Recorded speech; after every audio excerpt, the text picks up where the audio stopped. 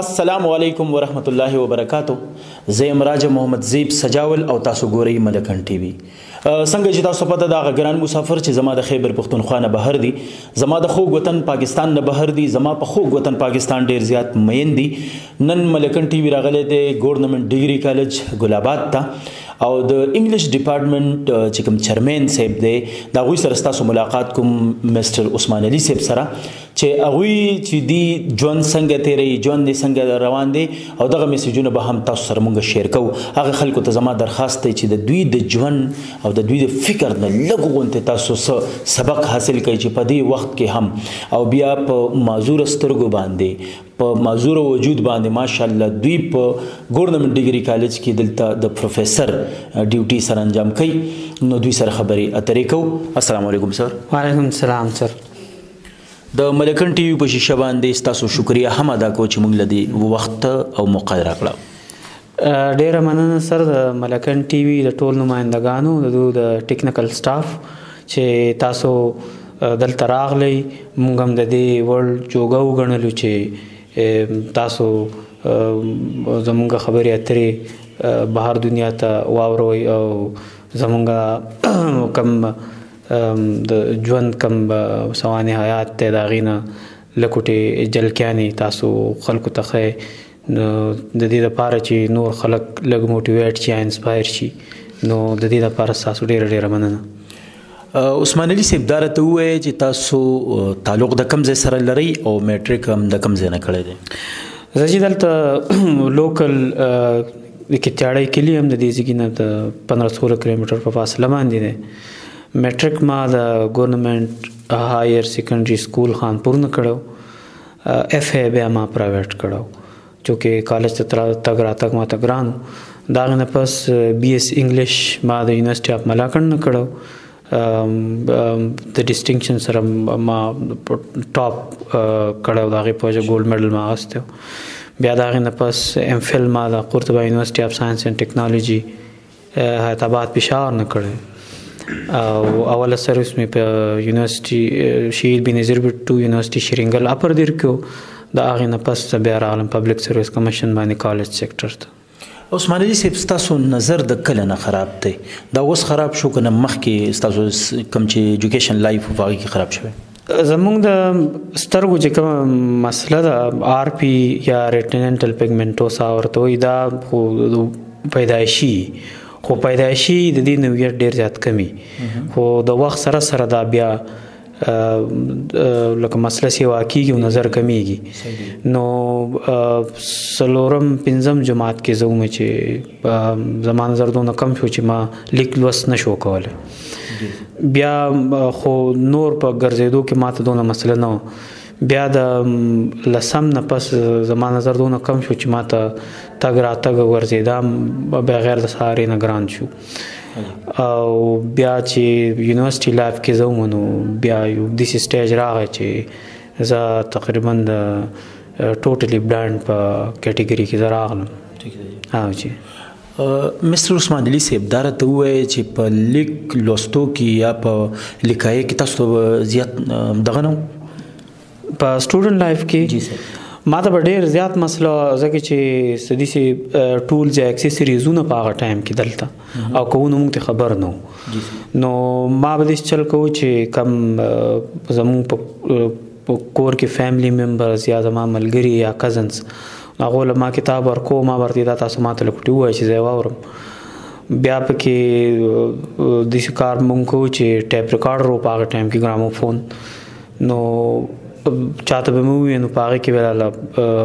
بوکس یا نوټس ریکارډ کړنو بیا ما ځان نه اوریدا نو د لسمه پورې خودي سي لکه په اوریدو باندې د خلکو نه او د ټیپ ریکارډر نه مال سم کمپلیټ کو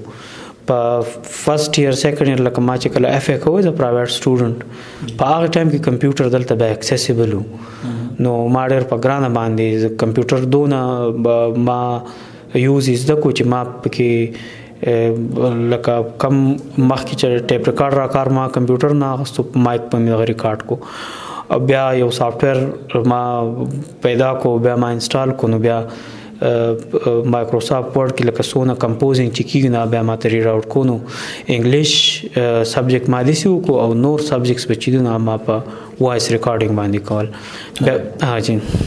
ګل آباد ډیګري کالج کې تاسو ماشاءالله پروفیسور یې او د انګلیش ډپارټمنټ چیرمن هم یې ډیره لوی د اعزاز او د فخر خبره ده بلکې زموږ د خیبر پښتونخوا د پاره او د دې سیمې د خلکو د پاره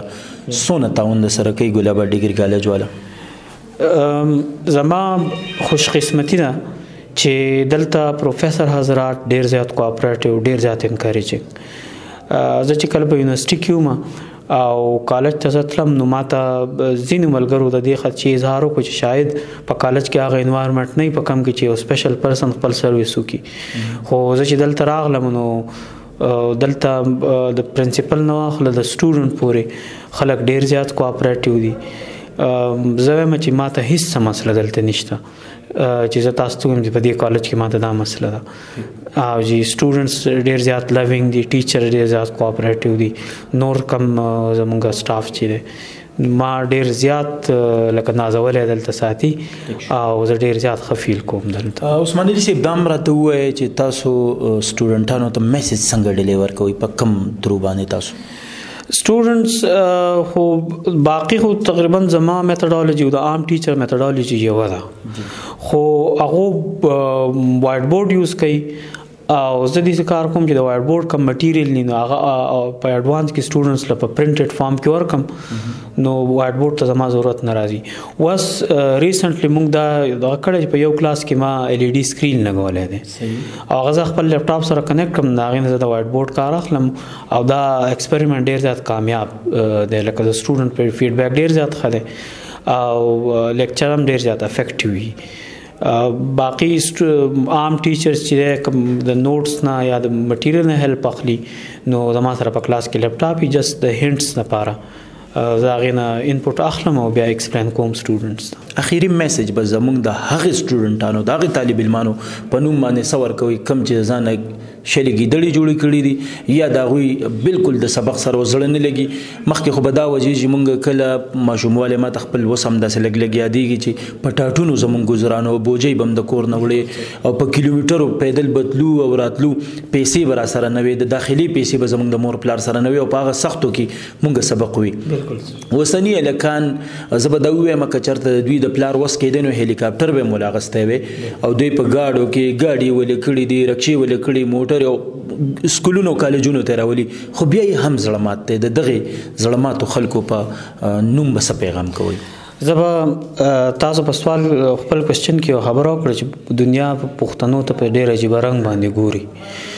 زه هم چې زمونږ سټوډنټس ډیر زیات چیلنجز دي د دوی په اوګو باندې ډیره غټه ذمہواري ده هغه دغه یو خبره ده چې کم مور او پلار دوی نه توقع ساتي چې دوی مهنت وکړي خپل نوم پیدا کړي د ځان نه جوړ کړي او زه په خاص توګه یو خبرو کوم او دا تقریبا زه هر کلاس ته په نوې کم بیچ چې راشي هغه ته زه کوم زه هم چې دا لکه دونه ګران کار نه دی خو مونږ ته چې سونه سہولیات کم چې زموږ وسایل دي هغه که ټایم دی که سټوډنټانو پاکټ مې دا که هغه سلفون دی که هغه لپټاپ دی که هغه انټرنیټ کنیکټیویټي ده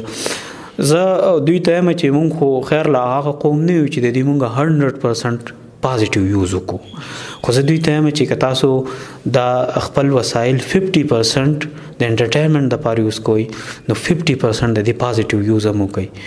هغه سلفون باندې هغه اپس انسټال کړئ ایجوکیشنل اپس انسټال کړئ ډکشنریز انسټال کړئ هغه چینل سبسکرایب کړئ